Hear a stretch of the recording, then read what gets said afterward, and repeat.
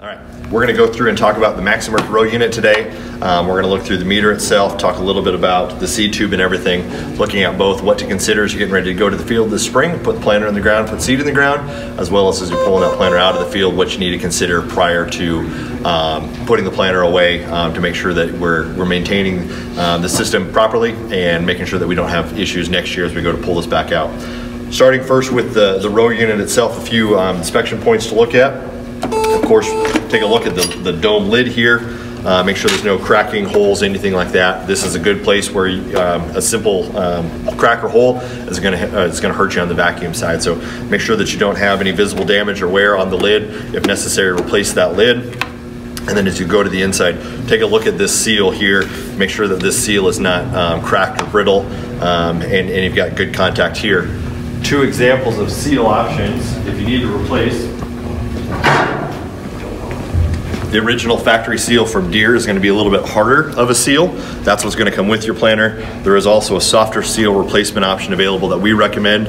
Um, it's going to um, wear not, it won't have quite the wear life that the harder seal will have, but it will help to protect that investment of the seed plate. So if you do replace, we would recommend going to the softer seal, but make sure if you go to the softer seal on one row, you're going to need to do every row down the planter to make sure that you got consistent seal and vacuum um, connection throughout the planter. As we move on past the lid, of course, be sure to take a look at either your, your scraper or your knockout wheel, depending on the crop. Make sure that it's um, in good working order. Most newer units are going to have a clip-in system where the, the scraper or the uh, wheel um, clip in. If you've got an older system that has the screws, that you take those screws out um, and to put the new system in, um, you will need to update the lid because those scrapers or wheels are not available any longer. So you will need to get the new system that has the clip-in um, scrapers and wheels. Makes, makes changing out of those um, a lot simpler and a lot easier. Looking uh, further into the row unit here, of course, we start with the disc go ahead and inspect that um, plate for any visible damage or wear. In particular, you want to be looking for any sort of grooving around the edge of that plate that's going to help, um, that's going to take away from your vacuum. So if that you start to see grooving or ridging throughout the plate, it's going to be time to look at a new plate.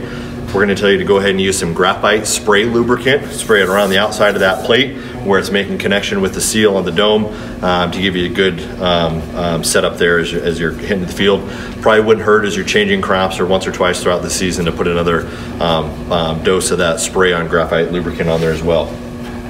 Looking at hub height, to change the hub height here, you pull this pin, you can adjust that hub in or out as necessary, pop that pin back in. Proper setting on this is going to be when uh, what Deere will tell you and your operator's manual will tell you, if you can spin that when it's disconnected from um, the, the drive system on the planter, when you can spin that hub and you get about a quarter to a half um, turn of free spin. One thing I would recommend if you're looking at smaller grains, um, you may want to make that just a little bit tighter than you would with your corn and soybeans. Of course, when you hook this planter up and you put that vacuum in there, that vacuum is going to want to pull on this plate just a little bit and pull it away. Um, so keep that in mind. If you, that pulls away and you create a gap down here, you're going to create a problem where you, you create that potential for those smaller grains um, to slip through. So may be something to consider to tighten that up just a little bit when you get into your smaller grains.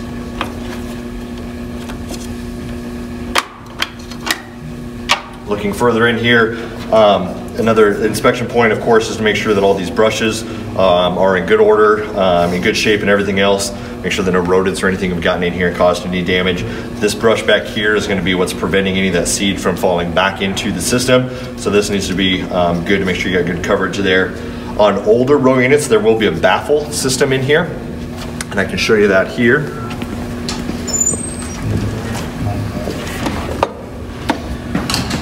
If you've got a baffle on your system, it's a simple, you push this clip in and you can slide that baffle up or down. You're gonna want that baffle in the down position for your smaller grains and your owner's manual will, will tell you particularly what um, um, uh, what crops you're gonna wanna have the baffle in down position. What that's gonna do is that's gonna limit the amount of seed that can enter into the meter. You wanna keep that down for those smaller grains to keep less seed in here because if you overfill this meter, it's gonna wanna, uh, it's gonna tend to pick and carry those seeds up um, and drop them back in on the backside of that meter where you don't want them. So we tell everybody, keep it in the up position for corn and soybeans, down position for your smaller grains.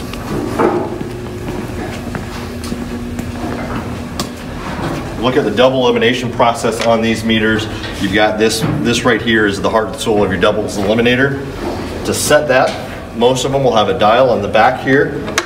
Set that dial to five, and then you're gonna wanna put that disc in, and the, the tip of this top, uh, uh, topmost edge is what you're gonna be looking for. When you put that disc in on a corn plate,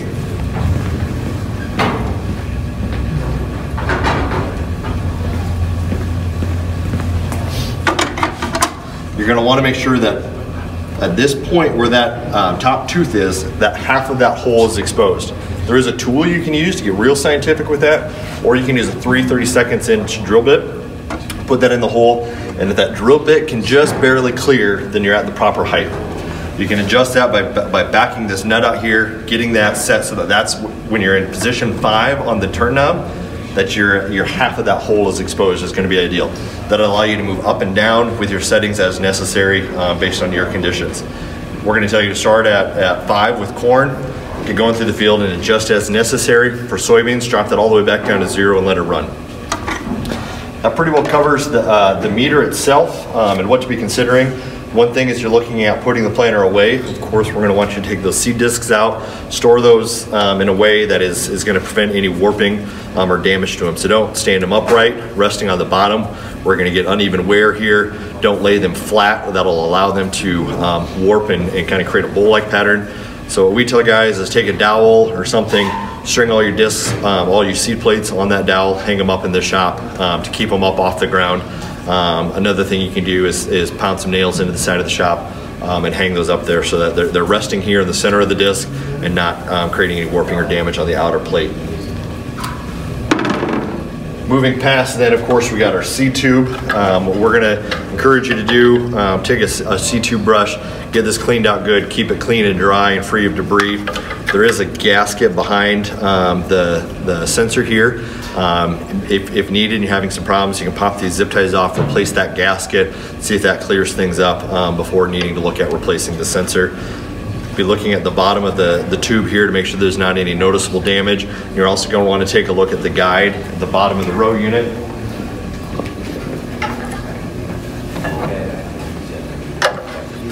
making sure that your, your guide is, is fully covering um, the seed tube to make sure that if this guide starts to wear and you're not fully covering that seed tube, you're going to cause damage to the tube. It's going to round that out and ultimately it's going to affect seed placement down in the trench.